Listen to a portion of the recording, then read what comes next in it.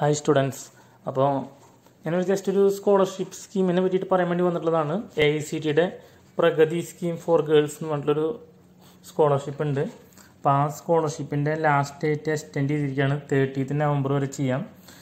Female സ്റ്റുഡൻസിനാണ് ഇത് apply ചെയ്യാൻ പറ്റുക. A I C T approve ചെയ്തിട്ടുള്ള ഏത് ഇൻസ്റ്റിറ്റ്യൂഷനിൽ പഠിക്കുന്ന കുട്ടികൾക്കും ചെയ്യാം.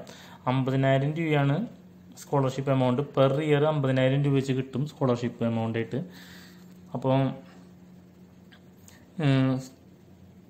ഇത് പിന്നീട് എന്താ ചെയ്യേണ്ട കാര്യങ്ങളെന്ന് വെച്ചാൽ ഇതിലുണ്ട്. നിങ്ങൾക്കത് ഒഫീഷ്യലായിട്ടുള്ള വെബ്സൈറ്റിൽ കയറി ഐ സി ടി വെബ്സൈറ്റിൽ കയറിയിട്ട് പോയി അപ്ലൈ ചെയ്യാവുന്നതാണ്.